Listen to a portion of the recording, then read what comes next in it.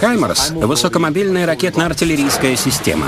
Она быстро передвигается по полю боя и очень эффективна в применении.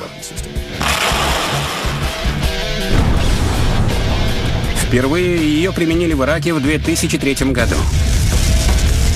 «Хаймарс» может обрушить 540 килограммов боеголовок на цель в 60 километрах от системы. Она обеспечивает артиллерийскую поддержку на потрясающих дистанциях. Всего одним залпом она может с легкостью накрыть площадь, равную футбольному полю, и там никто не выживет. Дальность стрельбы позволяет одной мобильной установке оказывать артподдержку на территории более 14 тысяч квадратных километров.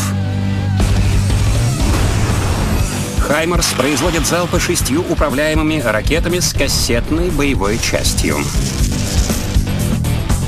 Она может вести огонь кассетными боеприпасами. Каждая ракета разделяется на множество мелких зарядов.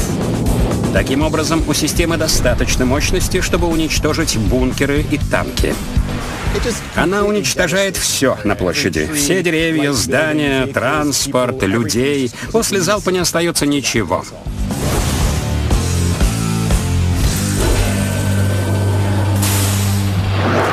Дальность можно увеличить, заменив ракетные снаряды тактической ракетой. Вместо шести снарядов она может нести тактическую ракету с дальностью более 200 километров.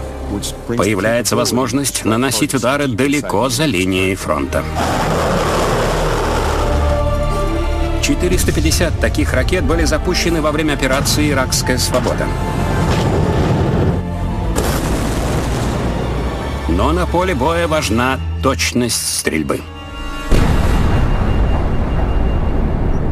Я могу запустить реактивный снаряд по цели в 75 километрах отсюда и попасть точно в цель. Система наведения «Хаймарс» автоматизирована и точна. Артиллерист вводит координаты цели, и реактивный снаряд наводится на нее. Угол запуска выбирается автоматически, и снаряд запускается.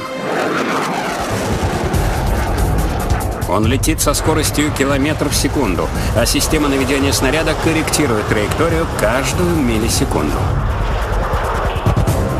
Удар по цели наносится с точностью до 5 метров. Хаймарс сможет уничтожить снайпера с другого конца города. Круто. Мне нравится ею управлять. Бронированная кабина защищает расчет из трех человек. Хаймарс может покинуть позицию до того, как противник нанесет ответный удар. Сразу после запуска система уезжает, чтобы избежать контрбатарейной стрельбы противника по своей позиции. Хаймарс может двигаться спустя 90 секунд после запуска.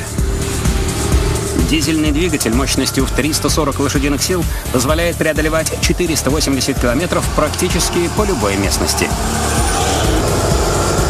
Система готова к запуску спустя 5 минут после остановки.